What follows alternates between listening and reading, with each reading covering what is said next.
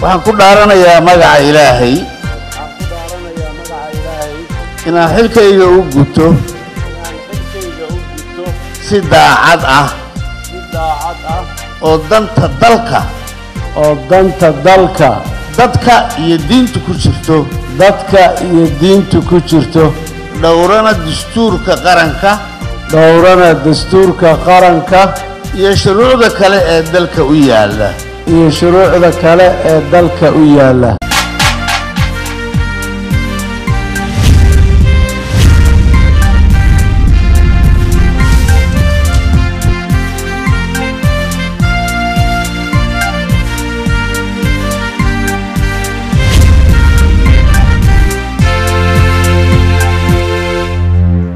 Asalaamu calaykum waraxmatullaahi wabarakaatu dhammaanba daawadayaasha qiimaha badan ee aanu hawada ka xiriirno war wixii dalkii dibadda naga soo gaaray oo aanu idinkaga soo gudbinayno telefishinka caalamiga ee somaali channel stuudiyaha magaalada nairobi ayaa idin diyaara. Anigoo shukri maxamuud afraax ayaana warka soo gudbinaya.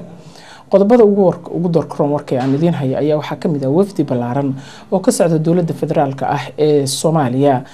Ayna horkacayaan wasiirada arrimaha gudaha iyo amniga qaranka iyo wasiirka kheyraadka dalka ayaa waxa ay gaareen magaalada beledweyne qodobada kale aanu idiin hayno ayaa waxaa ka mid ah madaxweynaha puntland cabdiraxmaan maxamed faroole iyo mas'uuliyiin la socotay ayaa waxaa si weyn loogu soo dhaweeyey degmada carmo ee gobolka bari. Codbixintii doorashada golaha deegaanka oo beryahanba la filayay inay ka bilowmato somalilan ayaa guud ahaanba somalilan ka bilowmatay. Howlgallo lagu qaadayo isbaarooyinka sharci darada ah ayaa iyaguna weli waxa ay ka soconayaan qeybo ka mid ah magaalada muqdisho. Qodobadaas iyo kuwo kale ayaanu idiin haynaaye qadar xayisiin ah ku soo dhawaada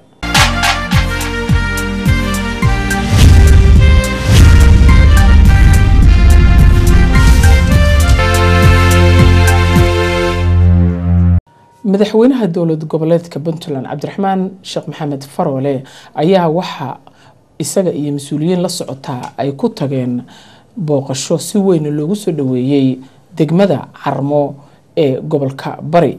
Maxamed siciid yuusuf ayaa faahfaahinta warkaas noo haya. Kan waxaa si weyn loogu soo dhoweeyey degmada waaciya oo ka tirsan gobolka karkaar iyo tulooyin hoos yimaada waxaana soo dhoweynta madaxweynaha ka qaybgalay mas'uuliyiinta degmada odayaasha dhaqanka haween iyo dhallinyaro ku soo labistay funaanado lagu xardhay sawirka madaxweynaha iyo astaanta urur siyaasadeedka uu hogaamiya ee horseed. Soo dhoweynta kadib waxa uu madaxweyne faroole kulan la qaatay bulshada deegaanka oo uu ka dhageystay warbixino la xiriira baahiyaha ka jira degmada waaciya iyo deegaanada hoos yimaada isagoona xariga ka jaray war biyaha loogu kaydiyo degmada waaciya oo dhowaana halkaasi laga hirgeliyey si deegaanku uga faa'iidaysto xilliyada jilaalka cabdisalaam bashiir cabdisalaan gudoomiyaha degmada waaciya ayaa madaxweynaha uga waramay baahiyaha degmada ka jira iyadoona odayaasha deegaanku ay dhankooda soo dhoweeyeen wafdiga madaxweynaha iyo urur siyaasadeedka horseed ee uu hogaamiyo. Haddii aan ka warbixiyo xaaladda ammaanka ee deegaanka waxa sharaf weyn noo ah inaad si nabadgelyo leh deegaanka ku soo dhex martid waxa sharaf weyn noo ah inaad si nabadgelya oo amniya uu degaanku aada u jeedo oo indhahaaga aada maanta ku aragto. Waxaanu wax badan u baahanay dadka iyaga reer waaciya ama degaanka inaanu in badan muujino xaaladda amniga ee degaanku siduu yahay. Maantana waxa sharaf weyn noo ah madaxweynihii wufuuddii ugu sarraysay wasiiro wax walba leh inay marti noogu yihiin. Waxaan aada iyo aada uga mahad celinayaa anigoo ka wakiila dowladda puntland gaar ahaan wafdiga dowladda ka socda oo aan hogaaminayo oo booqashada ku maraya gobolkan karkaar. Dabeed nooga sii gudbi doona gobolka bari. Sida diiran aada noo soo dhawaysan aad bayna ka mahad celinaya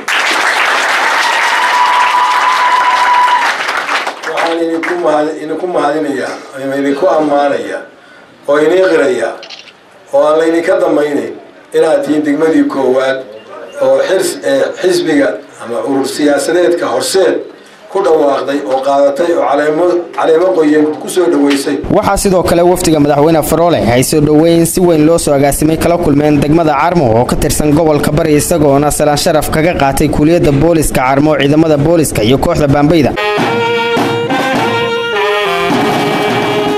madaxweynaha puntland cabdiraxmaan maxamed maxamuud faroole oo munaasabada lagu soo dhoweynayay hadal ka jeediyey ayaa uga mahad celiyey dadka reer carmo soo dhoweynta ballaaran ee ay u sameeyeen alxamdulilaahi rabbilcaalamiin mahad ilaahay baa iska leh. Mahadda labaad waxaa iskale dadka reer carmo iyo ciddii kale oo degaanka ku dhegdhegan tuulooyinka kale a ku soo biirtay. Soo dhowaynta diiran oo farxadda iyo qalbisamada iyo qalbiga furan nagu soo dhoweeyey mahad kashiga laabta ka soo goday baa anigoo ku hadlaya magaca dowladda iyo wafdiga jeedinaya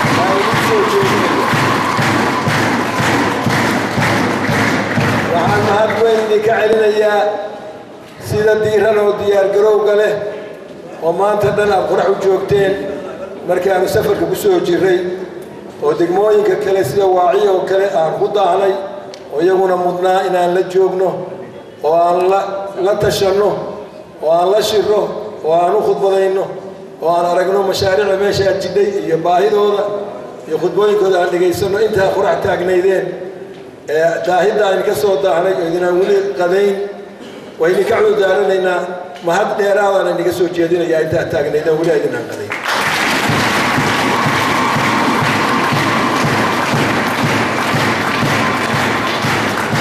Walaalayaal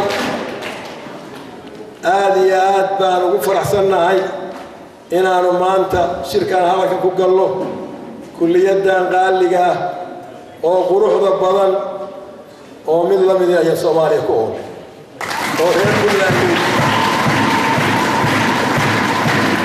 waxaan wax yar idinka sheegayaa safarka yaga halkan hadda aan u soo baxnay gobolka karkaar oo aan hadda dhowr beri joognay iyo gobolka bari oo aan halkan maanta ku soo gallay.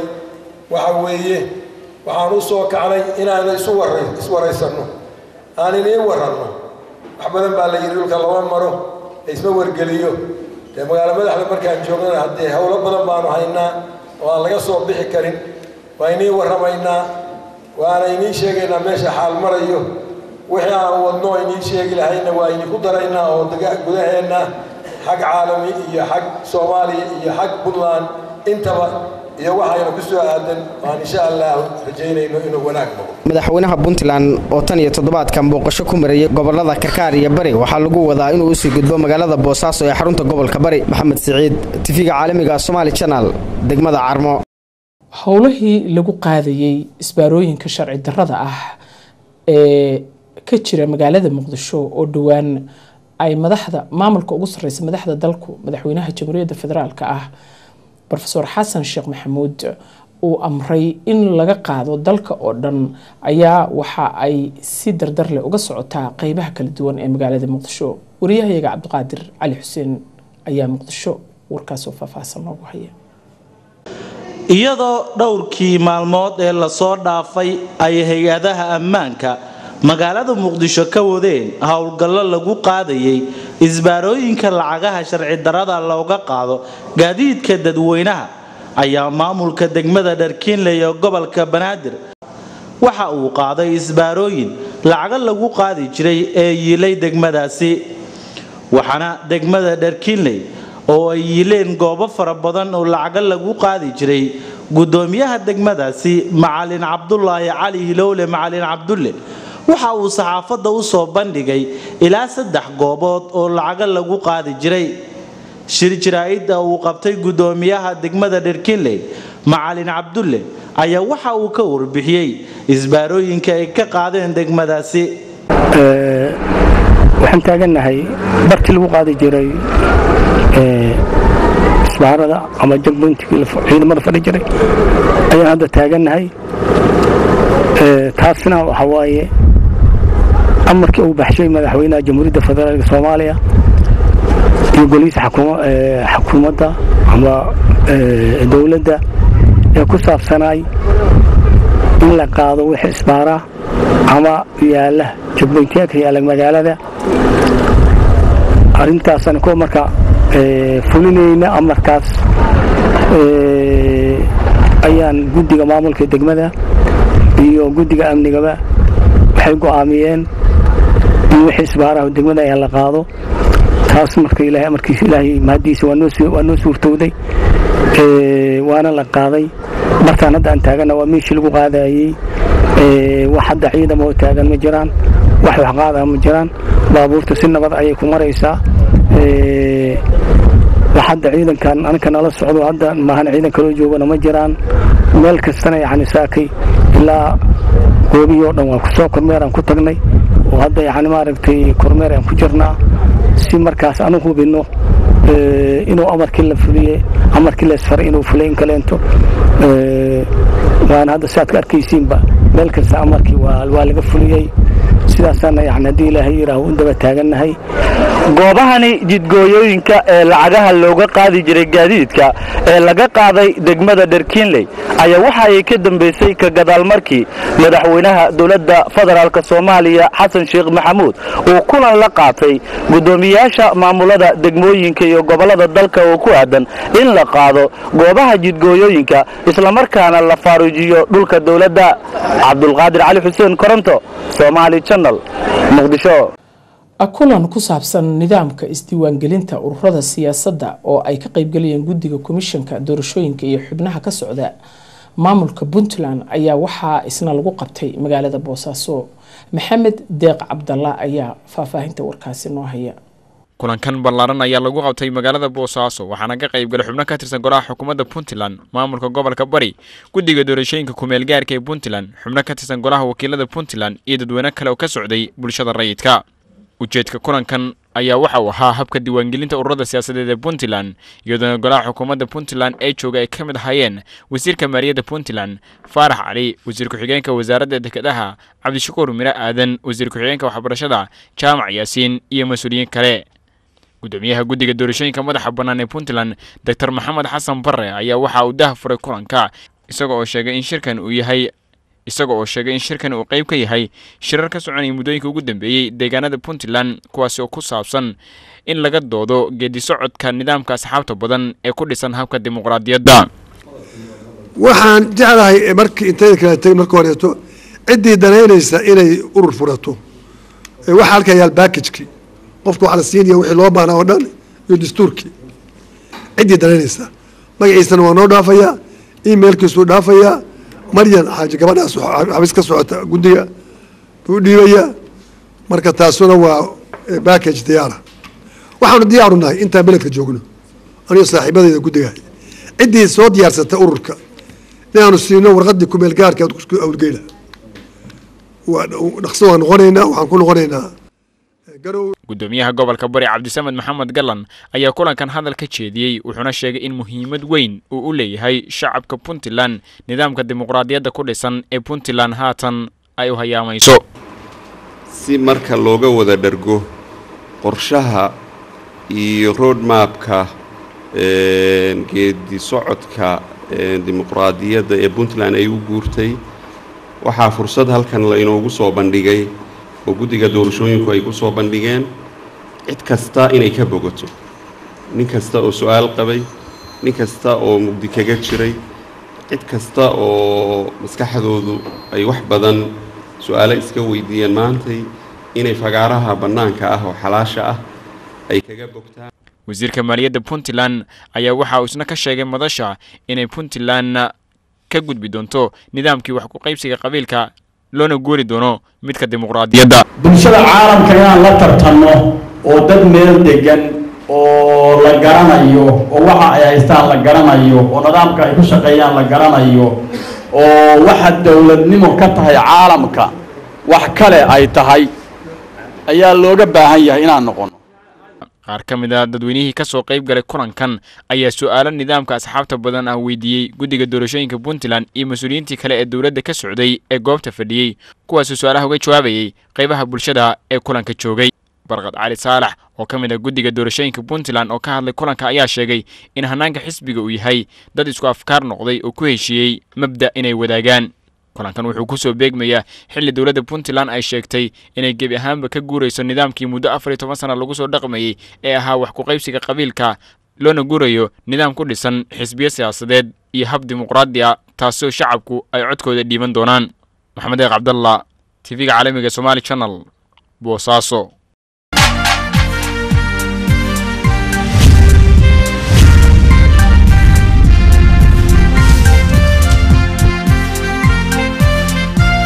wasiirka wasaaradda arrimaha gudaha ee somalilan maxamed nuur caraale duur ayaa shir jaraa'id oo uu ku qabtay xarunta wasaaradda arrimaha gudaha. Waxa uu kaga hadlay codbixintii doorashada golayaasha deegaanka ee maanta ka dhacday guud ahaanba somalilan isagoo faahfaahin ka bixiyey qaabkii ay doorashadaasi u dhacday iyo waxyaabihii dhacay intii ay socotay. Wasiirka wasaaradda arrimaha gudaha oo ay shirkan jaraa'id ku wehelinayeen taliyaha guud ee ciidanka booliska cabdulaahi fadal iimaan wasiir ku-xigeenka wasaaradda arrimaha gudaha iyo wasiir ku-xigeenka dhinaca amniga ee wasaaradda arrimaha gudaha iyo saraakiil kale oo ka tirsan ciidanka booliiska ee somalilan waxaanuu sidoo kale wasiirka arrimaha gudaha ee somalilan ka hadlay goobahii aanay doorashadu ka dhicin iyo weliba shaqaaqo ka dhacday maanta gobolka sool. Qayb ka mid a intii ay socotay codbixinta doorashada ee golayaasha deegaanka. Waxaan caawa kulan saxaafadeedkan u qabtay inaan guusha shacabka u gudbiyo hambalyo. Shacabka reer somalilan inaan guusha ay gaadheen aan halkan hambalyo uga gudbiyo. Iyo inaad gaadhsiisaan haddaad saxaafadda tihiin. Debad iyo gudaba wixii maanta u qabsoomay qaranka somalilan. Waxaan ilaahay ku mahadinayaa sida natiijadu nabadda iyo sharafta ugu dhammaatay doorashadii golaha deegaanku ee ay maanta wanaag ugu dhammaatay codbixintii waxaa gabagaboobay doorashadii golaha deegaanka ee loo qoondeeyey sideed iyo labaatankii maanta oo maanta ahayd waxaanay ku dhammaatay nabad. Alxamdulilah ilaahay baynu ku bahadinaynaa markaa waxaan leeyahay waxaa qabsoomay wax weyn oo lagu faano. Waxaa loo cadeeyey maanta natiijadooduna insha allah ay soo bixi doontaa golihii hanan lahaa koob iyo labaatan degmo doorasho. Golihii hanan lahaa ee maamuli lahaa baa loo codeeyey doorashadii labaad ee golaha deegaanka. Intaasoo howla ayaa maanta dhacday. Waa wax weynoo dhismay. Siyaasaddaa wax dhista isbedeladaa wax dhisa wax weyn baa maanta qabsoomay. Markaad qaraday leedahay malaa ciddaan ku baraarugsanayni ha ogaato maanta inay wax weyne shacabkan u qabsoomeen. Hal goobi ma xidhmin dalka oo dhan. Hal goobna ceebi kama iman. Dhammaan goobaha dalka oo dhan degmo marka laga tago goobgoob laysu dul taago guul bay ku dhammaatay degmooyinka shil kama dhicin deerana deere ma hirtiin waxba ma dhicin. Marka la eego waxaa qabsoomay. Afar qof ayaa dalka oo dhan dhaawacmay goobo kala duwan. Dalka oo dhan afar qof baa dhaawac gaadhay halkay ka dhacda africa wax weyn baa qabsoomay. Ilaahay baanu ku mahadinayna. Afar qof baa dalka oo dhan musharaxa waxsalowga ama hogaamiyaha xisbi urur ee waxsalowga hal dariiq baa sharcigu u furay dariiqaasaana u bannaan garnaqso ayaa u bannaan. Laakiin wixii shacabku tacab soo galay xumaan iyo aflagaado iyo hadallo aan qarankii dhisayn ka daba tuur uma bannaano halkan waxaa igaga tegi taliyay ciidanka qaranka. Hal qofoo dhaawaca buu sheegay. Khasaare la sheega maaha. Wuxuuna ka mid tahay dhaawacyada ayaan ku daray. Maadaama dalkao dhan aan soo koobay waxay ku afar tahay saddexda aan goobo kale ka xusay marka runtii wax xayirani ma jiraan.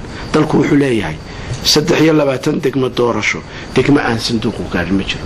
Laakiin goobo ka mida degmooyin ayaan la gaadhsiin. Marka goobaha sanduuqii loogu talagalay uu gaari waayey waxay ahayd waa laga joojiyey. Waxaa jira doorashadani waa doorashadii ugu fogayd hal goobaha ay gaadha waayo degmooyin cusub oo aanay afartii doorasho ee hore aanay ka qabsoomin ayay doorashadani ka qabsoontay waana hubaal. Marka goobtii shaqaaqa keenaysay nabad baanu ku bedelino waanu ka joojinay. Marka goobo aanay gaadhini waa jiraa laakiin saddex iyo labaatanka degmo doorasho dalku ka koobayay meel aanay ka jirin ma jirto. Koob iyo labaatan si buuxda ayay uga qabsoontay koob iyo labaatan degmo doorasho hal goobi kama maqnayn. Labada degmee hadhsanna goobo ka mida waa la gaadhsiiyey laakiin lama wada gaadhsiin waana markii ugu ay ugu badnayd ee doorashada goobtaasoo kala gaadho. Alxamdulilah khadar macalin deeq telefishinka caalamiga somaali channel hargeysa. Islaam bashiir islaan cabdulle oo isagu ka mid ah odayaasha ama hogaamiyaasha dhaqanka ee ka soo jeeda gobolka mudug ayaa waxa uu dib ugu laabtay magaalada gaalkacyo. Kadib markii uu muddo ka soo maqnaa booqashooyin uu ku soo kala bixinayay ama safaro uu ku aaday dalka dibadiisa xasan xuseen xasan ayaa gaalkacyo nooga soo diray warkaas garoonka diyaaradaha ee caalamiga ah ee cabdilaahi yuusuf ee magaalada gaalkacyo ayaa waxaa ka soo degay islaam bashiir islaan cabdilaahi islaam faarax. Islaamka ayaa waxa uu safaro kala duwan ku kala tegay wadamo kala duwan oo ay ka mid yihiin dalka masar dalka kenya iyo waddamada isutaga imaaraadka carabta oo hadda si toosa uga yimid. Islaam bashiir ayaa waxaa garoonka ku soo dhoweeyey maamulka gobolka odayaasha aqoon-yahanada ganacsatada iyo dhallinyarada gobolka mudug. Intaa kadib ayaa islaamka waxaa loo soo gudbiyey qasri uu ka deganaa magaalada gaalkacyo. Islaam bashiir islaan cabdille islaam faarax ayaa waxa uu dalka ka maqnaa muddo dhan hal bil iyo toddoba beri waxa uuna safaro kala duwan ku maray wadamadaas aanu soo sheegnay. Xasan xuseen xasan somaali janal gaalkacyo. Xaflad si heer sare ah loo soo agaasimay ayaa waxa ay ka dhacday hoolka shirarka ee iyo hanuuninta ee magaalada badhan xafladan ayaa waxaa lagu maamuusayey maxadna loogu celinayay shahadooyin sharaf iyo sagootinbana lagu guddoonsiiyey agaasimaha somaali janal ee gobolkaasi. Cabdirasaaq cali belbel oo isagu dalka dibadiisa u kicitamaya saciid cabdilaahi tiij ayaa noo hayo faahfaahinta warkaas. Xaflad si weyn loo soo agaasimay ayaa ka dhacday hoolka shirarka hanuuninta. Xafladan ayaa waxaa ka soo qayb galay qaybaha bulshada sida maamulka gobolka maamulka degmada maamulka waxbarashada gobolka maamulka cisbitaalka guud maamulka dugsiyada magaalada baran cuqaali iyo waxgarad aad u fara badan.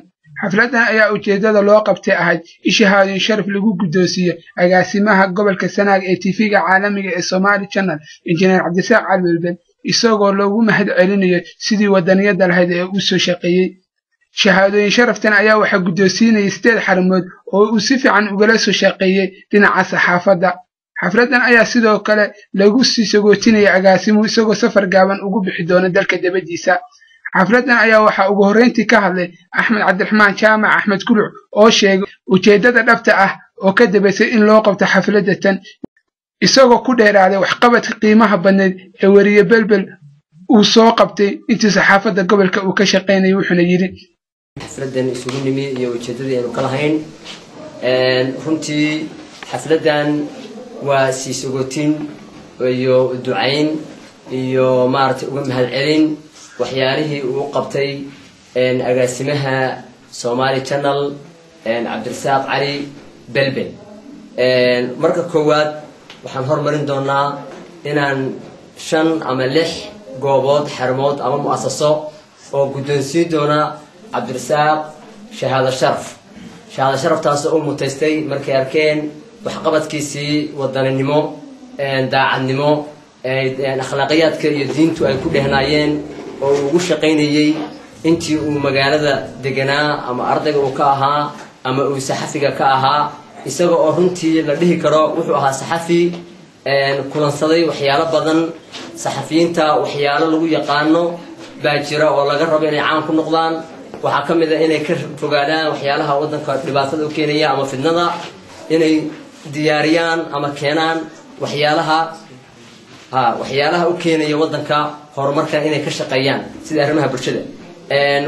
Xarumaha ama sideedda goobood oo maaragtay shahaado sharafta guddoonsiin doona. Waxaa sidoo kale xafladan ka hadlay guddoomiyaha gobolka maxamuud ismaaciil ciyoon waxaana hadaladiisa ka mid ahaa.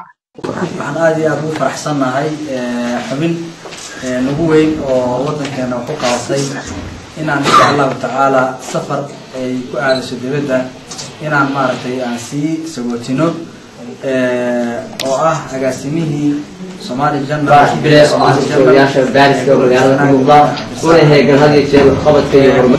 ciddii wax u qabatay haddaanay maaragtay ikraamin haddaanay maamuusin waxaa weeye ma horumarto waxbana ma noqoto.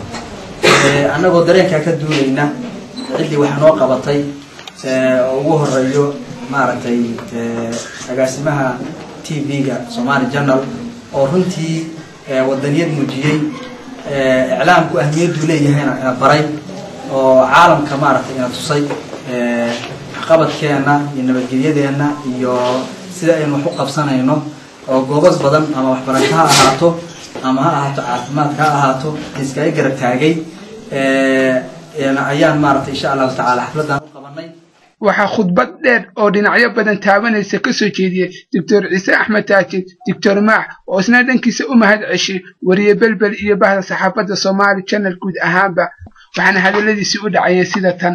Waxaad moodaa xafladan caawa sida wanaagsan loo soo agaasimay in lagu talagalay injineerka wanaagsan oo wax badan u soo halgabay una soo qabtay injineer cabdirasaaq cali belbel oo aad aada moodo qof aan dadkii kale oo waxa weeyaan ama gobollada kale saxafiyiinta ka mid ahaa aan la mid ahayn oo waxaweye isagu si gaara meel kastaba ha noqotee arrimaha bulshada isagoo u badsanaya ama caafimaadka ha noqotee ama waxbarashada ha noqotee aada iyo aada waxqabadkiisa dheer uga qabtay cabdirasaaq haddaanu halkan intaa kadib ayaa sideedii xarumood ee ugu talagalay shahaadooyin sharaftan guddoonsiiyeen agaasimaha waxayna kala ahaayeen guddoonka gobolka maamulka degmada maamulka waxbarashada gobolka cisbitaalka guud ee degmada baran maamulka hutel sanaag dugsiga alfurqaan dugsiga canuur ururka hooyooyinka annasar two ugu dambayntii ayaa waxaa ka hadlay xafladan waxgarad iyo cuqaal aad u fara badan oo dhammaantood u mahad ceshay weriye belbel iyo madaxda tifiga caalamiga ee somaali channel sidii ay uga soo shaqeeyeen deegaanka iyo guud ahaanba gobolka. Siciid cabdilaahi tiig telefishinka caalamiga ee somaali channel magaalada baran ololo ballaaranna oo socon doona muddo lix iyo toban cisho ah oo ujeedadiisu ay tahay in looga hortago tacdiyada loo geysto iyo xadgudubyada dumarka loo geysto ee gobolka mudug. Ayaa waxa uu ka bilowday ama ka bilowday maanta magaalada gaalkacyo waxaana fulinaya hay'adda g e c b d oo magaalada gaalkacyo ka jirta cabdiraxmaan cabdulaahi cali ayaa noo haya faahfaahintaas. Ololo ballaaran oo lix iyo toban maalmood soconaya oo qaybo badan isugu jira oo ujeedadiisu tahay sidii loo joojin lahaa shaqaaqooyinka iyo tacdiyada loo geysanayo haweenka soomaaliyeed. Ololahan ayaa waxaa wadaa xarunta waxbarashada iyo nabadda ee g e c b d ee magaalada gaalkacyo. Xarunta dhallinyarada iyo sboortiska ee magaalada gaalkacyo ayaa waxaa lagu qabtay kulan looga hadlayay arrintaas waxaana kulankaas soo qabanqaabiyey xarunta g e c b d ee magaalada gaalkacyo. Waxaana kulankaas ka soo qayb galay maamulka gobolka hay'adda u n c r hay'adda i o m qaar ka mid a barakacayaasha magaalada gaalkacyo iyo bulshada qeybaheeda kala gedisan waxaana ugu horreyntii halkaasi ka hadlay maamaxaawo aadan oo ah madaxa xarunta g e c b d oo dhowaan la guddoonsiiyey abaalmarinta loo yaqaano nansan refugee award oo ay bixiso sannad kasta. Hay'adda u n c r ee qaxootiga adduunka u qaabilsan qaramada midoobay. Waxaan rabay inaan idiin sheego dhowaan bishii soddonkeedii bishii aan nasoo aan ka soo gudnay soddonkeedii waxaa nala siiyey aqoonsi. Aqoonsigaas jineebo waa lagu sheegay. Nairobi waa lagu sheegay. Xamar waa lagu sheegay. Maantana halkan aan ku sheegaynaa haddii aan in yar ka sheego aqoonsiga nala aqoonsaday marar badanna waan sheegay aqoonsigaas haddee waa kulligeen oo dhan rag dumar carruur waayeen waa iskula wada jirnaa waayo waxba hay'addan aan ka socdo oo xarunta waxbarashada nabad iyo horumarinta. Keligeed wax ma qabanteen mana qaban karto mana qaban doonto haddii aan loo dhammayn marka waa loo dhammaa waadna mahadsan tihiin waxaa jira aqoonsi yara oo xag lacageed ah oo nala siiyey nala siin doono oo la aruurin doono. Taas jineebana waa ka sheegnay intii kalena waa sheegnay. Halkanna waa laga ogyahay laakiin inaan ayagana daaha ka qaadno waxaa weeye waxaanu ku dhisaynaa haddii ilaahay idmo goobta la seexdo oo gobolkoo dhan uu leeyahay. Ugu dambayntiina waxaa halkaasi ka hadlay guddoomiyaha gobolka mudug maxamed yuusuf jaamac. Runtii maanta waxaynu ugu baahi badannahay waa nabad. Nabad la'aanteed waa nolol la'aan waa horumar la'aan waa isxukun la'aan waa jiritaan la'aan carruurtii yaryarka ahaa hadda waxa ay ku dhawaaqayeen iyo geeraaradii iyo suugaantii ay tirinayeen ayaa inoo ku filan baahida aynu nabadda u qabno. Qof wax jecel iyo qof wax necab midna inaysan ku xambaarin wixiisu inuu nabadda wax u dhimo qof wax doonaya iyo qof wax diidan midna inaysan ku xambaarin doonidiisa iyo diididiisu inay nabadda in nabadda wax loo dhigo. Dhammaanteen inaynu nabadda wada ilaalinno dhammaanteenna aynu isugu tagno nabadda intaa waxaa ka soo hara ummaddii ubadkeeda barbaarisa oo daryeesha oo wax tadha oo wax fadha oo xuquuqdooda ilaalisa ummaddaasaa mustaqbal yeelanaysa. Mustaqbalkeennu waa ilmaheenii yaryaraa oo halkaa taagan. Waxaa dhacday gabarh soomaaliyeed oo yara oo ubax soo baxaya. In jirkeeda inta miino lagu xiro la qarxiyo. Sidii tii tiyaatarka ka dhacday oo kale. Maskaxdeedii lagu xadgudbo jiritaankeedii iyo xuquuqdeediina la xaqiro. Warshadda ina soo saaraysa waxa weeyaan geesiga iyo hogaamiyaha iyo aqoon-yahanka iyo siyaasiga iyo midka magaca iyo taariikhda inoo samaynaysa warshadda soo inoo samaynaya warshadda soo saaraysa waa hooyada. Waxaan u mahad celinayna xaruntan g a c b d. Qof walba oo waxay ila tahay reer puntland ama reer mudug oo reer gaalkacyooda xaruntan ahmiyadda iyo qiimaha ay leedahay waa uu garanaya markaa kadib ayaynu waxaynu gaarnay in soomaaliya oo dhan ay garato xaruntaanu qiimaha ay leedahay. Cabdiraxmaan cabdulaahi cali somaali channel gaalkacyo. Wasaaradda arrimaha dibadda ee dalka koonfurta afrika ayaa waxa ay ka digtay digniin adagna ay u dirtay dadka soomaaliyeed ee iyagu ku sameynaya xaafadaha baasaboorada soomaaliga ah ee been abuurka ah warkan ayaa waxaa magaalada port elizabeth ee gobolka eastern cape nooga soo diray maxamed xasan ibraahim. Wasaaradda arrimaha dibadda ee dalkani koonfur afrika ayaa digniin adag u dirtay shakhsiyaad soomaali ay ku jiraan kuwaasoo lagu eedeeyey inay suuq madow ka hirgeliyaan dalkani koonfur afrika ta oo lagu sameeyo baasabooro aan sharci ahayn warbixin ka soo baxday wasaaradda arrimaha dibadda ee dalkani south africa ayaa lagu sheegay inay jiraan waxyaabo si sharci darro ah loogu ganacsado oo ay sameeyaan qaar ka mid ah soomaalida ku dhaqan dalkani south africa ayagoo kaashanaya muqallasiin u dhashay dalkani. Arrintani ayaa soo baxday kadib cabasho ay gudbiyeen qaar ka mid ah ganacsatada ku dhaqan waddankani south africa oo lacago badan loogu qaatay. Sameynta waxyaabo feeg ah oo sharci darro ah oo ay sameeyaan soomaalida iyo iyo weliba dadka loogu dhashay dalka nigeria kuwa oo qaarkood howlgallo ay sameeyeen booliiska dalkani south africa ay gacanta ku soo dhegeen ayaga iyo weliba qalabkii ay u isticmaalayeen sameynta waxyaabahaasi sharci darrada ah. Warbixintan ayaa sidoo kale lagu qeexay haddii ay sii xoogaystaan arrimahan ay dhici karto ammaan xumo maadaama dalkani ay ku nool yihiin qowmiyado aada u tiro badan.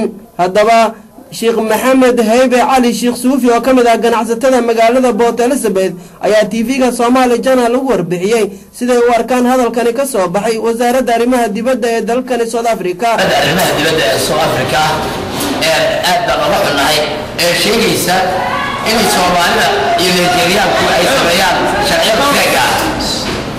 Arrintaasi arrin iftiraa weeyaan soomaalidu sharciyo feega ma sameeyaan bal iska daaye waddankan dhibaatada soomaalida ku haysataa waxay u badan tahay sharci. Arkaysaa toban sane nin joogay oon sharci haysanin. Oo loo garaacaya warqad. South africa boqolkiiba boqolkiiba toban bay siisaa sharci. Ama sagaashan iyo sagaal sane meelaan baa la dhihi karaa. Marka soomaalidu wasaaradda arrimaha dibadda ee south africa arrintaa ka soo baxday inay soomaalidu samayso warqado feega ama sharci feega arrintaasi waxaan leenahay waa iftiro wey waxa wax uga jirin weeyaan.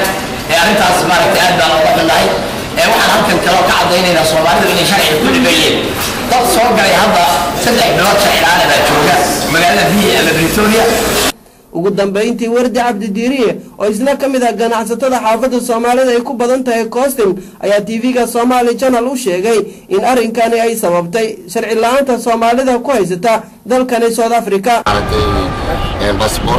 bixin baasabooradaas oo ay ka ganacsan jireen dad nigeriyaan ama dadka soomaalida ah oo fujirida sameeya dhibkaas waxaa noogu sababay la'aanta dhibkaa waxaa noo sabab sabab u ah macnaha dukumenti la'aanta laga haysto waddanka south africa. Marka dowladda soomaaliya waxaa ka codsanaynaa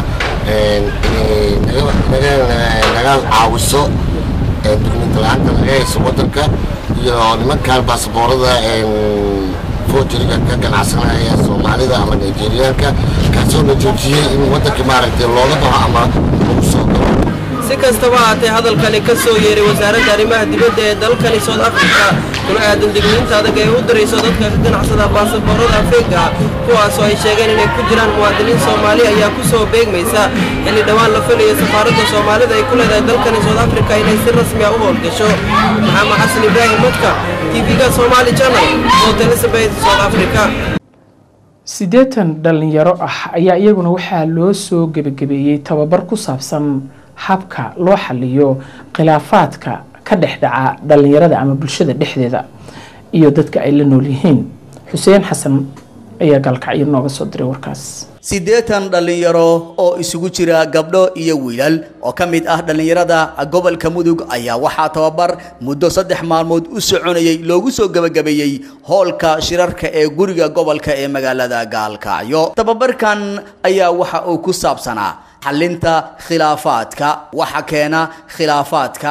Halka loo raadiyo khilaafaadka halka uu khilaafaadku ka yimaado inta uu gaari karo iyo weliba habka ugu wanaagsan ee loo xallin karo khilaafaadka waxaana soo qabanqaabiyey tababarkaasi xarunta nabadda iyo cilmi baarista ee geeska africa horn of afric center for peace. Macallimiinta bixinayay tababarkan ayaa waxaa ka mid ahaa suldaan cabdisalaan suldaan maxamuud oo isagu khibrad weyn u leh howlaha dhallinyarada iyo weliba xalinta khilaafaadka. Madaxna ka ah xaruntaas. Tababarkan ayaa wuxuu ahaa mid aad muhiim ugu ah dhallinyarada maadaama ay dhallinyaradu si fudud khilaafaad uga dhex dhici karo amaba ay u abuuri karaan dhallinyarada ayaa waxa ay qirteen in ay aad ugu baahnaayeen tababarkan in loo qabto. Ugu dambayntiina waxa ay dhallinyaradu soo bandhigeen halkudhigyo ay ugu talagaleen nabadda iyo weliba fariin ay u dirayaan dadka reer gaalkacyood oo xagga nabadgelyada ah.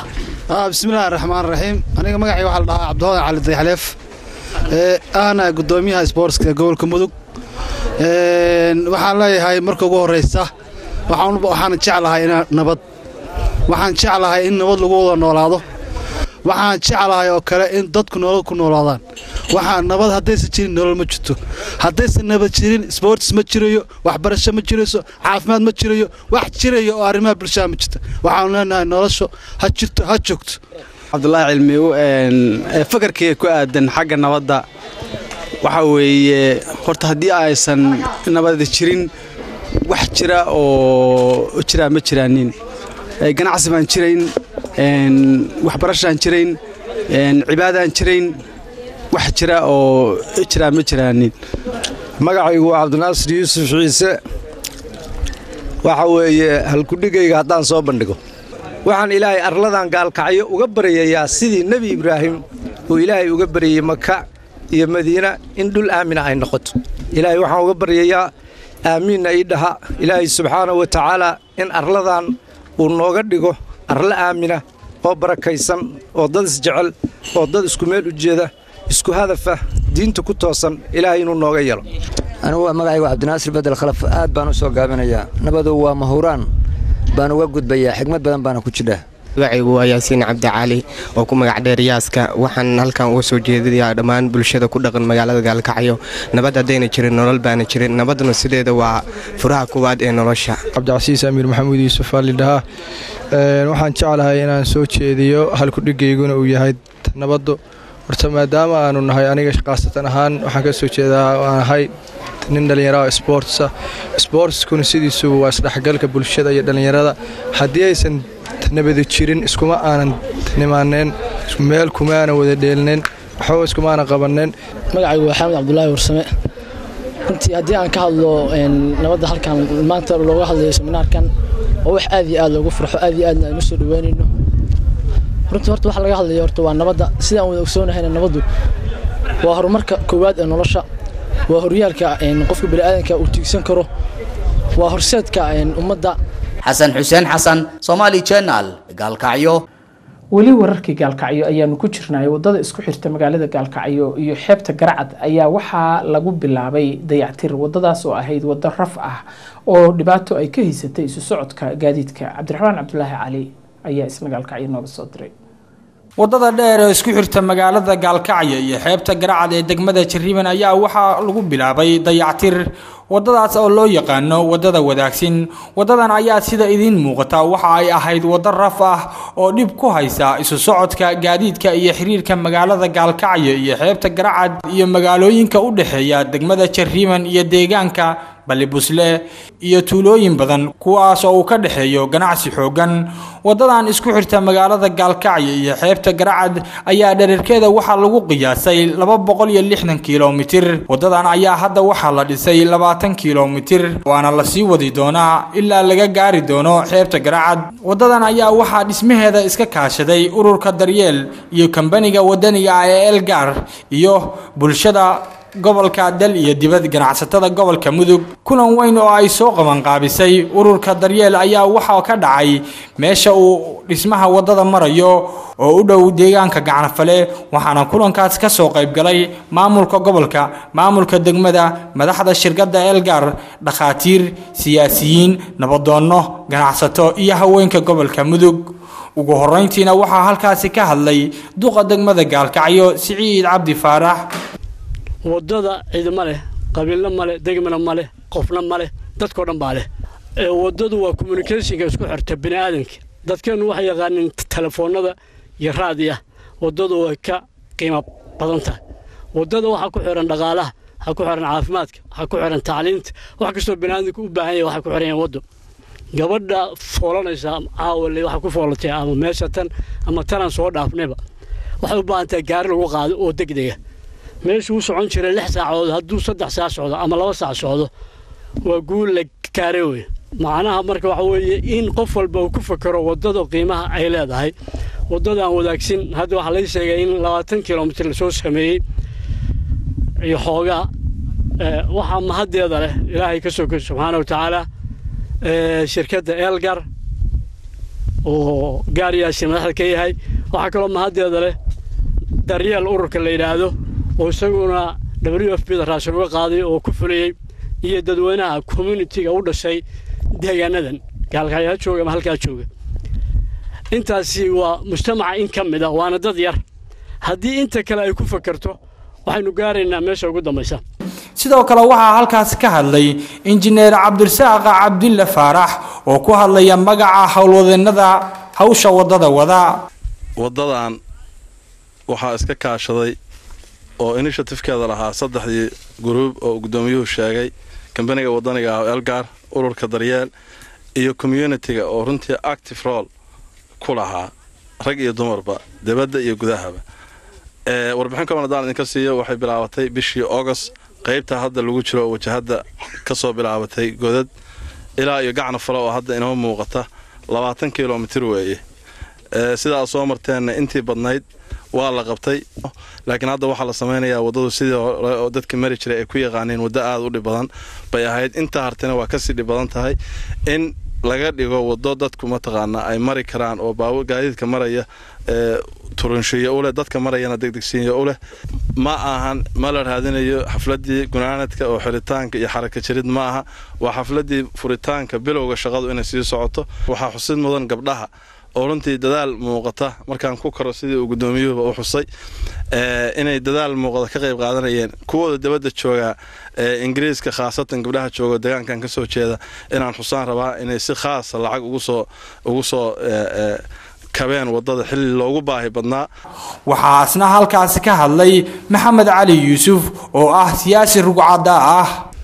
Waxaan filayaa sidii loo sheegay xafladda tan maanta la isugu yimid waa tusaale layna tusahayo hawsha la qabtay qofkii mari jiray jidkan siduu ahaa iyo inaynu maskaxdeenna gelinno bini aadanku inuu wax qabsan karo.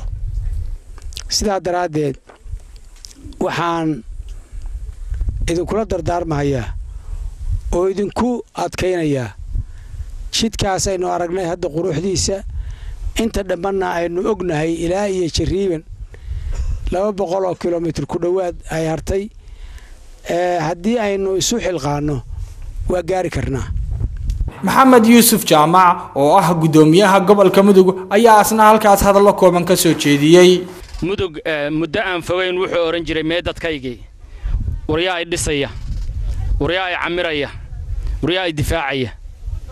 Maanta ilaahay mahaddiis waxaa mudug in dadkiisii baraarugay in dalkii loo soo jeestay in dalkii la dhisayo annagu waxaan ugu magac darnay mudug shalay iyo maanta. Maanta mudug inuu horumar ballaaran ka socdo inay dadku isku xilqaamayaan inay wax qabsadaan. Waraah baa ahayd rag tashaday cirkana waa toli karaan taaka labadeeda. Waxaan u mahad celinaynaa leenahay ilaahay maalka ha u barakeeyo kambaniga elgar oo kaalin ka qaatay ururka maxalliga ee daryeel gaadiidleyda iskarogooyinka iyo booyadaha ku tabarrucay dadka deegaanka ee cadkii iyo caanihiiba ku tabarrucay barqamaal oo iyaguna ka qayb qaatay sida ay sheegeen. Sidoo kale ciidanka difaaca jiidan bari oo iyaguna suurtogeliyay hantida intaan la eg lagu aamino waddadan wadaagsinoo la keeno. Waxwaynu qabsan karnaa haddii aynu ku talagalno. Daliilna waxa waa midda maanta aynu gacanta ku hayno. Ugu dambayntiina waxaa ururka daryeel mahadcelin u soo jeediyey dhallinyaro ku tabarucday gaadiid kuwaas oo ka qayb qaadanayay dhisidda waddadan iyo odayaashii soo abaabulay oo ay ka mid yihiin bashiir maxamuud dalmar cali warsame jaamac cusmaan ashkir iyo saacid faarax iyo weliba kambaniga elgar cabdiraxmaan cabdulaahi cali somaali channel gaalkacyo. Guud ahaanba codbixinta doorashada golaha deegaanka ee somalilan oo aada loo sugayey ololo ballaarana ayaamahan loogu jiray ayaa loo dareeray maantay sida ay u dhacday iyo meelaha kala duwan ay ka dhacday ayaa waxaa iyagoo isku xiga noo soo gudbin doona qadar macalin deeq. Waxaa maanta guud ahaanba somalilan looga dareeray codbixinta doorashada golayaasha deegaanka. Taasoo ay dhammaanba muwaadiniinta reer somalilan gobollada iyo degmooyinka ay uga dareereen doorashada golayaasha deegaanka oo bilaabatay saaka toddobadii subaxnimo iyadoo ay mas'uuliyiinta xukuumadda somalilan iyo axsaabta kala duwan ee ku tartamaysa doorashada golayaasha deegaanku ay ka codeeyeen xarunta hay'adda shaqaalaha ee magaalada hargeysa. Waxaana halkaasi ka codeeyey madaxweynaha somalilan mudane axmed maxamed maxamuud siilaanyo kaasoo dareenkiisa ku tilmaamay inuu dhiibtay codkii uu xaq u lahaa inuu dhiibto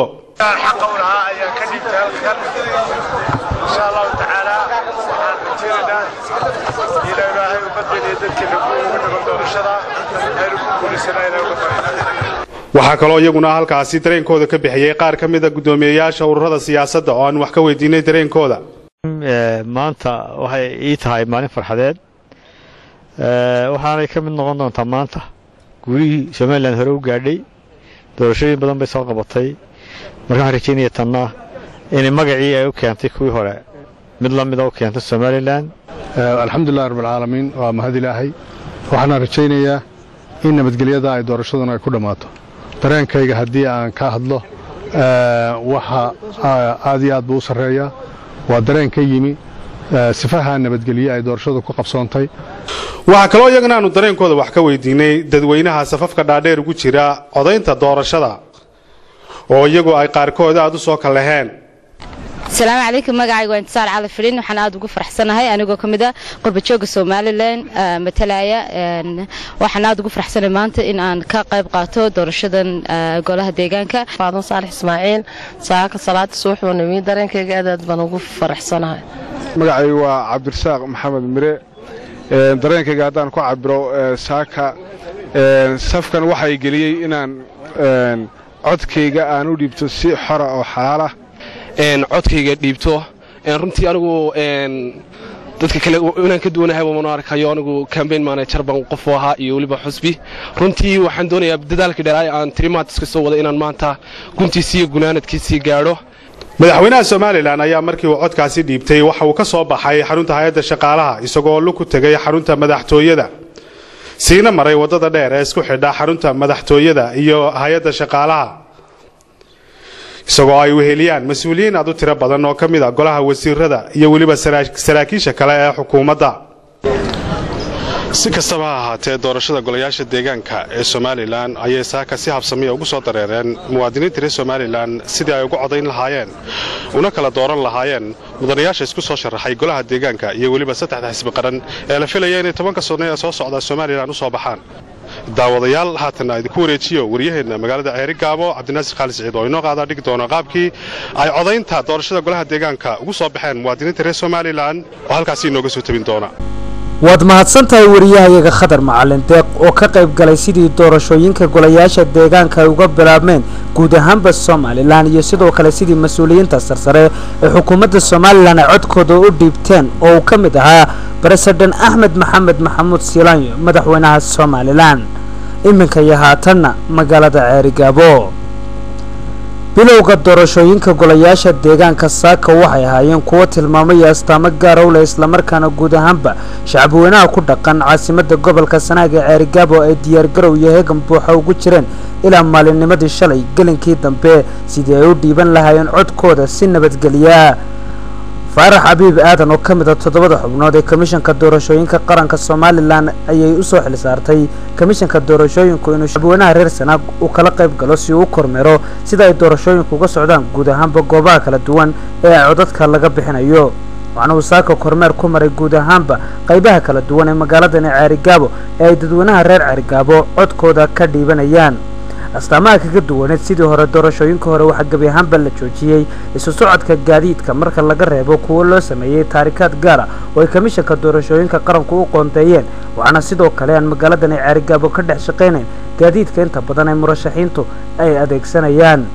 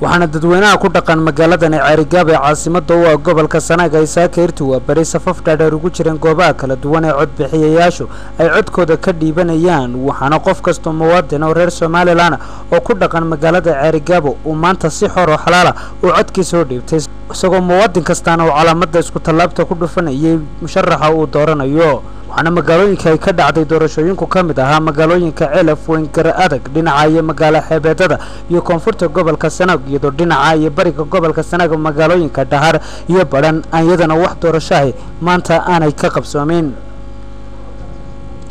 daawadayaal iminka iyo haatanna waxaa khadka si toosa ugu jira wariyahayaga magaalada burco ee xarunta gobolka togdheer maxamed cawad maxamed oo isaguna saaka dadweynaha reer burco kala qayb galay sidii doorashada golayaashaga deegaanku ay uga bilaabmatay magaalada burco. Mahadsanid cabdinaasir khaalid siciid waxaa maanta guud ahaanba looga dareeray si nabadgelyaha deegaamada hoos yimaada gobolka togdheer iyo gudaha magaalada burcaba doorashada golaha deegaanka oo ku beegnay siddeed iyo labaatanka nofembar inay guud ahaanba ka qabsanto somalilan waxaana maanta guud ahaanba gobolka togdheer sanaadiiqda codbixinta iyo goobaha laga codaynayay ay ahaayeen kuwa gaadhayay afar boqol iyo soddon sanduuq.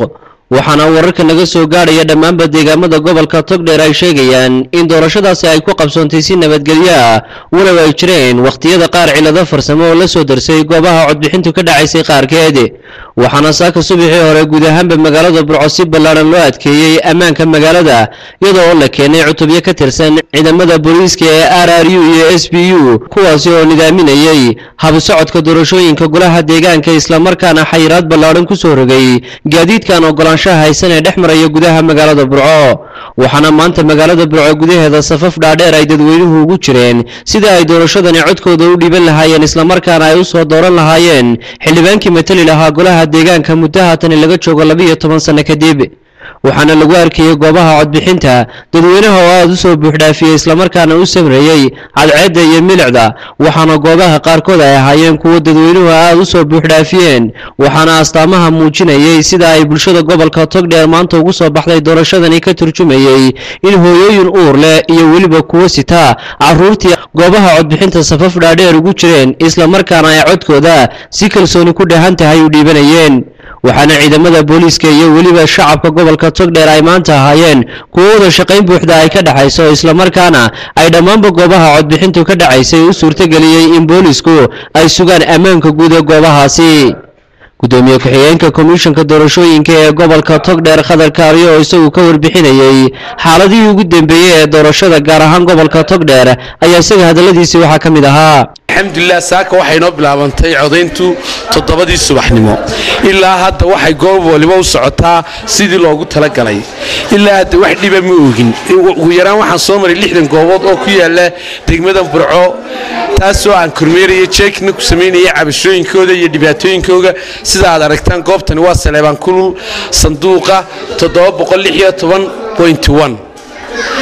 haddaad waraysataan wakiilada xisbiyada waad ogtihiin inay si nabadgelyo ah oo salmiya oo xora oo xalaal ah dhinaca kalena gudoomiyaha gobolka togdheer cabdo axmed aayir oo isaguna dhinaciisa warbaahinta la hadlayey ayaa ugu baaqay shacbiga somalilan in sida nabadgelyada ay maanta ugu dareereen doorashada golaha deegaanka ay ugu samraan xilliga lagu dhawaaqo natiijada doorashadana. Waxaan leeyahay fariintaan u marinayaa inay si nabadgelyo ah ku codeeyaan oo ku dhammaystirtaan codayntooda waxa weeyaan doorasho waliba daraja ay noo kordhinaysay tanna waxaan rajaynayaa inay darajadii u sarraysay ee martabadda aqoonsigeenna ina gaadhsiin lahayd ay noqoto.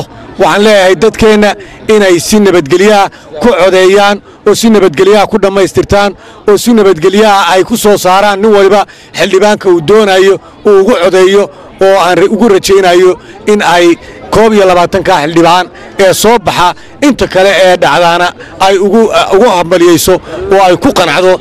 Ugu dambayntiina waxaa maanta guud ahaanba si nabadgelyaha ku soo gebagabowday doorashadani golaha deegaanka ee ka qabsoontay gobolka togdheer iyo guud ahaanba gobollada somalilan waxaana maanta muuqday xafiltanka xoogan ee musharaxiinta ururada siyaasadda iyo taageerayaashooda ay ku soo bandhigayeen goobaha kala duwan ee codbixinta ka socoto kaasi oo musharax waliba ku loolamayey sidii ay taageerayaashiisu ugu soo buuxin lahaayeen codka doorashada dhinaca kalena dadweynaha maanta codeynayey ayaa iyaguna si ballaaran u soo dhoweeyey markii ugu horreysay taariikhda.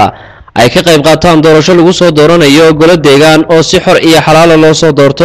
Horta doorashadii u horreysay iyo golo deegaan la doorto tii nagu horreysay bay ahayd laakiin tani waayo aragnimo dadku qaateen oo nin maca dadka soo sharaxaya laftoodu dad wax qabanaya oo eegyiin oo dad la soo naqeeyo marka waxaa isleena insha allah kuwii hore way dhaamayaan iminkii haatana daawadayaal waxaan idinku wareejinayaa waryaheena magaalada buurame cabdifataax axmed oo sharaxaad ka bixin doona sidii magaalada buurame iyo guud ahaanba gobolka awdal ay uga qabsantay doorashada golaha deegaanku. Mahadsanid maxamed cawad maxamed waxaa si habsamiya ugu bilaabmay guud ahaan gobolka awdal codbixinta doorashooyinka golaha deegaanka ee somalilan waxayna indhahaagu qabanayaan dad tiro badan oo safaf dhaadheer ugu jira goobaha codbixinta islamarkaasina waxay dadkaasi kuu sheegayaan in xili hore habeennimo xalay ay safafkaasi sii galeen si ay aroornimada maanta codkooda si xalaala ugu dhiibtaan. Ciidamada ammaanka ayaa markii ay cadceedu soo baxday subaxnimadii saakay guud ahaan joojiyeen dhaqdhaqaaqa gaadiidka. Marka laga reebo kuwa laamaha amniga iyadoo joojinta guud ahaan gaadiidkana uu ka soo fulay komishinka doorashooyinka somalilan gudoomiyaha gobolkan owdal axmed xadi sidci ayaa sheegay in guud ahaanba gobolkan owdal si nabdoon ay ugu socoto doorashada golaha deegaanka alxamdulilah nabadgelyaan ku gaadhnay. Nabadgelyaan ku gaadhnay ilaahay baa mahaddaa maantana halkaasaan ka codayna wanagaa codad bixinayna codkii bixinayna gudoomiyaha komishinka doorashooyinka somalilan ee gobolka nowdal cabdirashiid xirsi ayaa saxaafadda isaguna waxa ugu warbixiyey sida ay doorashada golaha deegaanka ay ugu dhacday guud ahaan gobolkan. Waaweyn sida macasbadu boorma baki muhaya zaylac oo hadda la wada xidhiidhnay goobaha dhammaansi nabadgelya u furan yihiin axmed muumin seed oo ah gudoomiye ku-xigeenka koowaad ee urur siyaasadeedka wadani oo codkiisa ka dhiibtay gudaha magaaladan boorama ayaa waxa uu ka shanqariyey sida ururkiisa wadani uu arko qaabka ay doorashadu u socoto.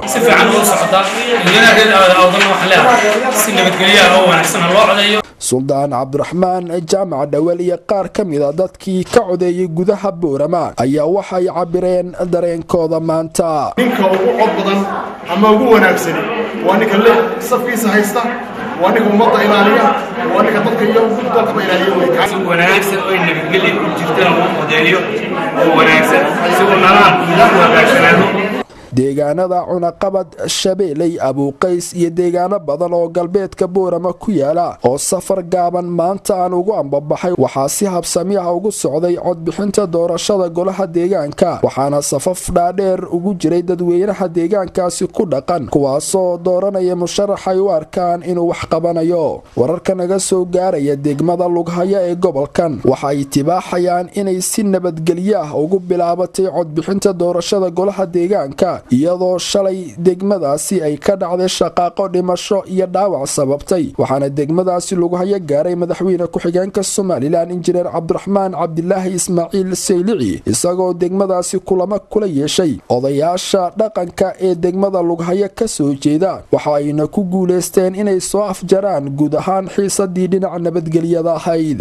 Si kastaba xaalku ha ahaadee doorashadan ayaa waxaa ku tartamaya shan urur siyaasadeed iyo laba xisbi waxayna ka hirgashay kow iyo labaatan degmo oo ka mid ah saddex iyo labaatanka degmo ay ka kooban tahay guud ahaan somalilan iyadoo marka natiijada la shaaciyana ay soo hari doonaan saddex xisbi qaran oo jiri doona tobanka sano ee soo socota inta doorasho kale oo ururo cusubi ka qayb galaan laga qabanayo. Waxaana guud ahaan gobolka nowdal soo gaaray goobjoogayaal caalami ah oo la soconaya qaabka ay doorashadan u dhacayso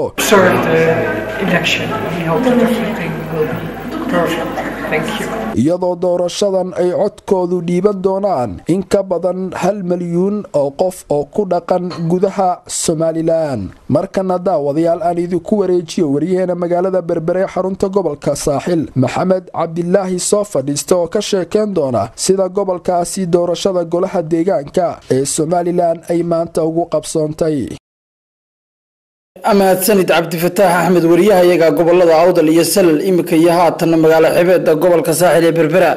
Doorashada golayaasha deegaanka dalka oo saaka looga dareeray guud ahaan gobollada iyo degmooyinka dalka ayaa waxa ay saaka lixdii subaxnimo si rasmiya uga bilaabantay xarunta gobolka saaxil ee magaalada berbera iyo degmooyinka hoos yimaada. Iyada oo lagu waabariistay goobaha codbixinta oo ay buuxdhaafiyeen safaf dhaabdheer oo ay ku jiraan ragga iyo dumarku sidoo kale waxaa iyagana guud ahaan habeenkii xalay saacaddu markay ahayd labiyo tobankii habeennimo dhaqdhaqaaqooda la joojiyay gaadiidka aan ruqsadda dhaqdhaqaaga ka haysan komishanka qaranka ee gobolka saaxil iyadaoo goob kasta oo codbixineedna ay heegan ku ahaayeen ciidamada booliska iyo kuwa milatariga oo iskaashanaya waxaana goobaha codbixinta intooda badan si habsamiya uga socotay codbixinta ay muwaadiniintu codadkooda ku dhiibanayaan iyada oo mid kastaaba codkiisa si qarsoodiya ugu codeynaya musharaxa uu codka siinayo halka ay gudoomiyeyaasha goobaha codbixintuna u calaamadinayeen qofka aan garanaynin sida loo calaamadinayo kolamka codbixiyayaasha loo asteeyey gudoomiyaha komishanka ee gobolka saaxil cismaan xaashi yuusuf iyo mas'uuliyiin kale oo ka socday komishanka qaranka ee guud ayaa si wada jira uga warbixiyey habsami u socodka doorashada deegaanka guud ahaan gobolka saaxil. Saaka subaxnimadii sidii loogu talagalay dhammaan ayay u bilaabmeen hawlihii. Hadday jiraan meelo yaryar oo farsamo ahaan u yara daaxo haddayna aan wax badan ahayn mooyaane gobolka geed ahaan goob meel aanay gaadhin oo aanay sanduuq oolin oo aanay ka soconin ma jiro dhammaan way gaadhay meelaha qaar rabshay waxaan waaweyneyn oo rabshadoy ka dhacay waa la sheegay sheegaya cabashooyin badan baa jirjira laakiin cabashada hadda koy musharaxiintu waa iska cabanayaan ilalihiin baa halkaa isku haysta ilaa halkaa isku haysta wax soo maqlena laakiin dhammaan guud ahaan waxa la odhan kara waa nabadgelyo doorashadaas raxmaan raxiim wadogtiina u aragtaan hawshii siday u socoto si wanaagsan bay u socotaa way jiraan waxyaaba yaryar oo aad aan sidaa u sii waaweynen oo yara dhacdhacay laakiin waxa weeyaan hawsha si wanaagsan bay u socotaa waxaan rajaynaynaa inay si nabadgelya ah ku dhammaato. Haddii ilaahay idmo ka dhacda mararka qaarkood delayed nus saac toban daqiiqo dadkoo buuqo dadkoo mararka qaarkood safka aan si wanaagsan u gelin dadka laftooda mararka qaarkood sameeya dib u dhaca وصف كان سوري كسلو قليل خاصة كيت لكن ميل وربي ويفرونتها قول ميل حوية وشنة ويسعتها عد بعيد ويسعتها سيولا كسمي رودة مالي سيشاء الله أرجع لها بمصر إلا يولي الحين تقع كيف كعمل يعني واحد داشت ورسا واحد رشد ويبي كل شيء كرو وين مجد هذه بنا وين مرشعيت وهذه يشير وين شفتها ترتم باك الحياة ويتحضر يا مركا ويورا يا القاسة سلا سلا سلا لكن وحفاك تزاولي مكا هيدا أبي راتي مجد وين مالا دي مدعين يا كرنسان دي وقت كودا dadku meelaha waktigu markuu dhaco waxaanu samaynaynaa oo sharciga ku qoran dastuur ku qoran dadka markaa safka ku jira in ay codeeyaan laakiin cidda meelay safka soo gelin dhinaca kale qaar ka mid a shacbiga codbixiyayaasha ah ayaa waxa ay cabasho ka muujiyeen dib u dhac ku yimi goobaha codadka laga dhiibanayo qaar ka mid a sida goobta lix iyo labaatanka juun oo ay sheegeen in aanay ilaa sideedii subaxnimo ee saaka wax shaqo ahi ka socon halka ay howlwadeenada goobtaasi iyo ciidanka ammaanka ee goobtaasi joogayna sheegeen inay dib u dhaca shaqada codbixinta ee goobtaasi ku timi. Dhinaca codbixiyayaasha oo buuq iyo dagaal kula kacay ciidanka ammaanka sidoo kale waxaa iyana aanu booqanay cisbitaalka guud ee magaalada berbere oo aanu ku soo aragnay dhaawac. Laba askari oo ka mid a ciidamada booliska iyo ciidanka qaranka. Labada askari oo uu ka mid yahay sarkaal ka mid a ciidamada booliska gobolka saaxil oo lagu magacaabo imaan maxamed liibaan ayaa waxa uu dhaawac ka soo gaadhay wejiga oo dhagax lagala eegtay. Labada askari oo aanu isku daynay inaanu wax ka weydiino dhaawacooda ayaanay noo suuro gelin sababo dhaawacooda ku yaalla awgeed waxaa isagana aanu cisbitaalka kula kulanay mid ka mid a shacbiga reer berbero oo sida uu noo sheegay uu saddex xabadood lugta kaga dhuftay. Mid ka tirsan ciidamada qaranka oo ka mid ahaa ilaaladii goob ka mid a goobaha codbixinta. Waxaan joognay. Deyrkaanu ku araysanaan joogo guriyagaha uu nagu xidhay deena waar maxaa dhacay? Anagu iska fafadhino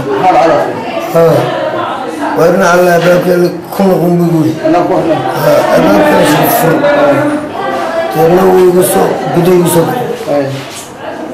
daways magno saddex xabadood buu dhistay si kastaba ha ahaatee doorashada ayaa waxa ay inteeda badani ku socotay saaka si habsamiya oo nabdoon iyada oo meelaha qaarna laga maqlayay rasaasta ciidamadu ridayaan iyo sawaxanka codbixiyayaasha oo iyaga qudhooda rabshado.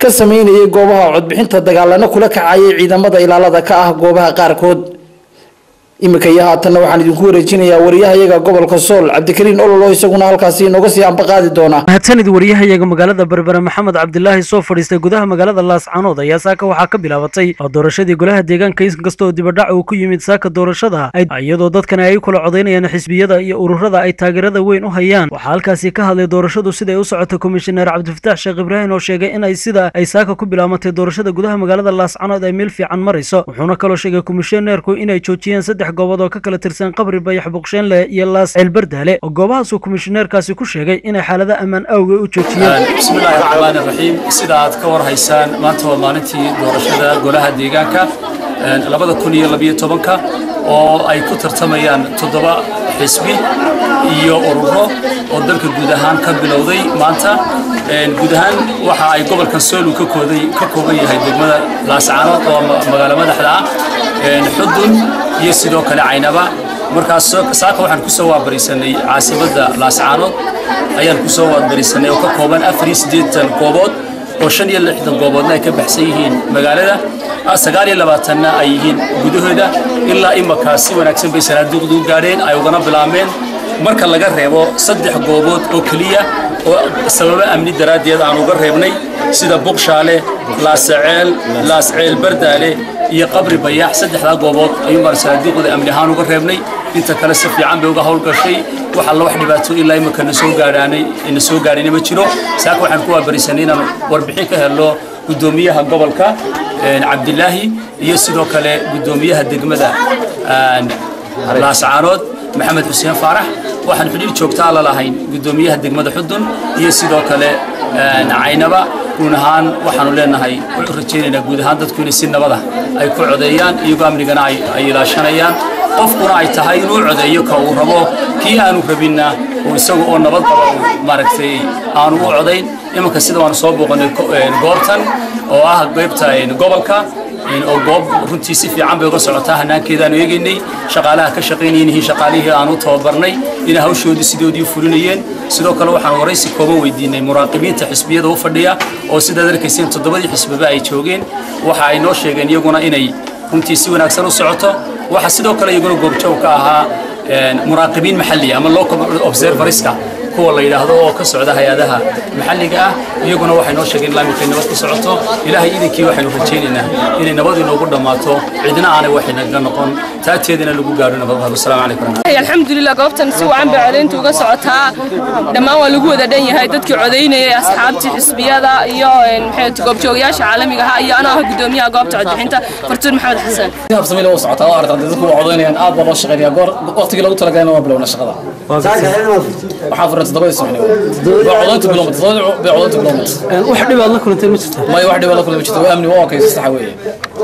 geysta kale waxaa halkaasi kor maray salebaan warsamo guuleed oo ka socday xuquuqul insaanka iyo garyaqaan ismaaciil cabdi daahir oo isna ka hadlay sida ay wax u socdaan bismillahi raxmaan raxiim aad baan idin salaamayaa. Waxaa maanta runtii farxad noo ah inaanu maanta kormeer ku joogno. Xarunta gobolka sool magaalada laascaanood annagoo ka soconna muxuu ahaa komishinka xuquuqlisaanka qaranka.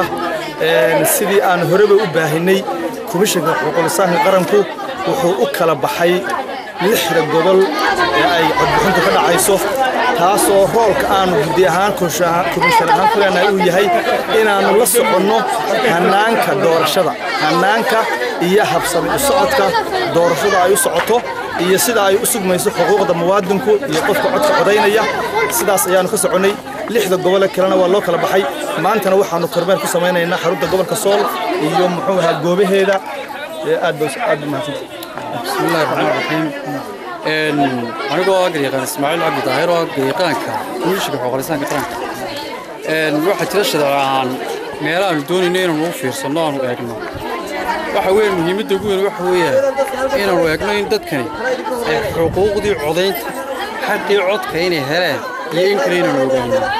Taas ayaanu doonaynaa inaanu monitор karayno inta kale waxaa dhameeyey komishineer saleebaan baa dhameeyey wax kaloo intaas ugu noqdaa ma jiro.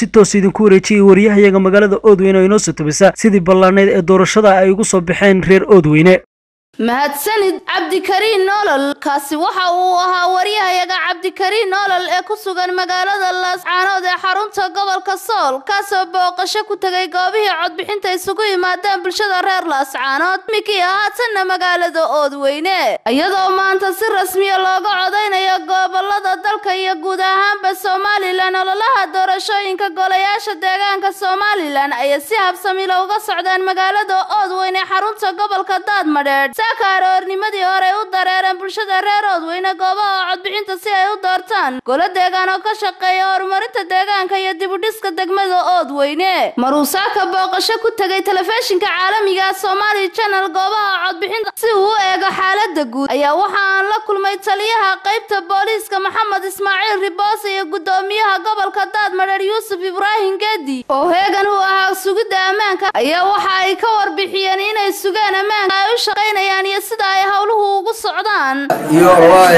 Waa si wacan bay u socotaa iska markaa degmada gudaheeda aad iyo aad bay rabaayo nabadgelyo ayay u socotaa goobay dhammaan way shaqaynayaan dhammaan dhammaan way shaqaynayaan. Sidaas ayaa dadkana ku horgelinaya nabadgelyadooda ilaaliya ka shaqeeya nabadgelyada si ay u socoto codbixintaas. Waana magaalada dadweyne aad iyo aad bay u soconaysa shan iyo afartan tuulo oo gobolka kooban yahay inkastoo tuuliyada kalena inay dadku codeeyaan oo ay muujiyaan tiradooda iyo tayadooda. Ay u muujiyaan gobolka.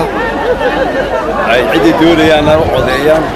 Laakiin si arrintaasi ay noqoto mid nabadgelyo iyo walaaltinimo ku dhacda oo ku dhammaata.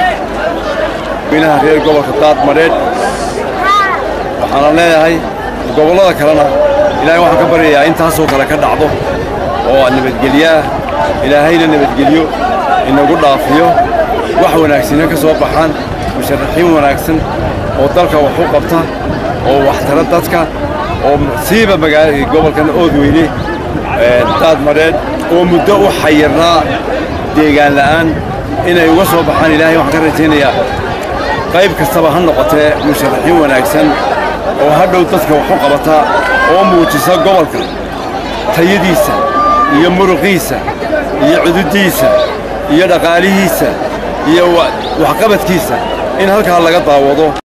Dhanka kale waxaan la kulannay xubno ka socda toddobada asxaab siyaasadeed ee ku loolamaya xisbi qaranyada somalilan iyo weliba goobjoogayaasha goobahaasi ku sugan. Doorashadii golaha deegaanka ee waddanka waa sidaasay dee meel walba lixda gobol uga dhacaysaa halkan aanu joogno waa boqolkiiba sagaal iyo sagaashan waa nabadgelyo ayay ku dhacaysaa. Asalaamu calaykum sidaa uu xildhibaanku idiin sheegay gobolka daadmadheedh ood weyne ayaannu joognaa. Ilaa iyo intaannu ka warhayno oo aannu saacad saacad uga warhelayno si wanaagsan oo nabada ayay u socotaa insha allahu tacaala dhowrka saacadood ee horay ayaanay soo dhammaanaysaa. Isriixriix yaryari waa jiraa marka meelaha qaarkood la sheego laakiin wax weyn ma aha. Annagoo u dhan ayaannu isu tagnaa oo aannu wanaag ka soo dhalinaa. Waxaannu ilaahay ka rajaynaynaa sidaa dimuqraadiyadda. Dhammaanba inay somalilan yeesho oo ay arrimaheeda ku sallayso oo ay sidaa ku dhammeeyaan ugu soo baxay doorashadan ee sida nabadgelyada leh ee habsamida wanaagsan loo wada. Waxaan leeyahay dhammaan taageerayaasha halkiina ayaa ku salaaman tihiin sidaa nabadgelyada aad u ilaalinaysaan ee muggale u ilaaliya doorashada haddaan ka warramo gobolkan daad madheedh waxay u socotaa si habsami leh. Ilaa dhowr iyo labaatan goobood baan saaka soo maray. Dhowr iyo labaatankaa goobood goob qudha oo nabadgeliya darre tirsanaysa maan arag aad iyo aad baa u mahadsan tihiin haddaad tihiin soomaali janal waxaannu joognaa ood weyne maanta sideed iyo labaatankii bisha weeye waxaa noo socota doorashadii codkii lagu ridayay golaha deegaanka si habsamilay noogu socotaa waxaa mahad iskale xukuumadda komishanka ururada bulshada ururada kale walaalanahayn tartamayno waxaanu rajaynaynaa inay guul ku dhammaato annaga oo anigoo ka socda wakiillo ka ah urur siyaasadeedka xaqsoon kana tirsan guddida fulinta magacayguna yahay siciid caynab cabdilaahi waxaan aad iyo aad u hambalyaynaynaa sida wanaagsan. Ee dadweynaha reer oodweyne noogu soo baxeen ay u codaynayaan aad baan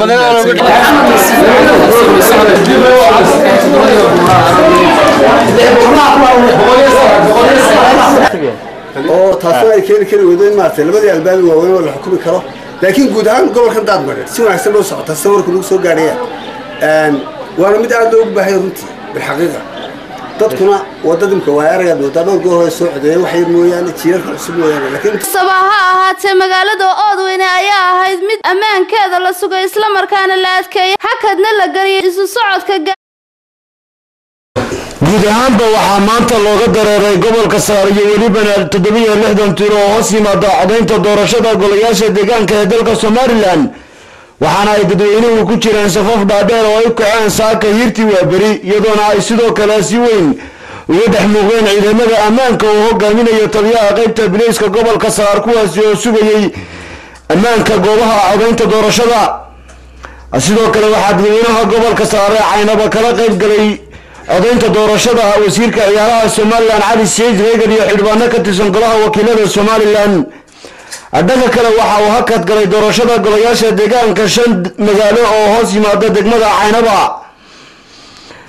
Kaasi oo ay albaabada u soo laabeen mas'uuliyiinta komishinka doorashooyinka degmada caynaba kadib markii ay goobahaasi isku fara saareen dadweynihii codaynta ka qayb qaadanayey gudoomiyaha gobolka sare ibraahim xaaji xasan cali ayaa kormeer isna ku gaala bixiyey deegaamo badan oo hoos yimaada gobolka islamarkaana ah goobihii ay ka istaagtay codaynta doorashadu waxaana uu khadka telefoonka ugu waramay tv-ga caalamiga ee somaali janab iyo idaacadda qaranka somalilan ee raadiyo hargeysa isagoona ka warbixiyay xaaladda deegaankaasi iyo weliba sida ay hadda uga socoto doorashadu. Daaxaan gobolka saraar doorashadii si wacan bay uga socotaa saacadan hadda waxa weeye waa waa waa shantii oo labaatan la. Runtii goobo fara badanna waanu tagnay kormeeraan ku maray goobaha kalena yani markaa waxaan u diray xagga amniga dad maraya. Amnigu runtii aad buu sugan yahay. Wax yaryar aan waaweyneen baa dhacay oo saddex meelood ah. Marka saddexda meeloodna